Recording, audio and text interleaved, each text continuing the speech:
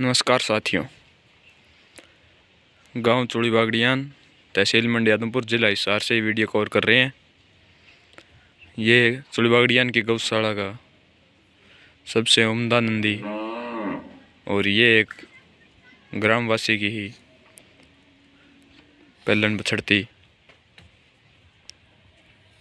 आज इनकी मीटिंग करा रहे हैं।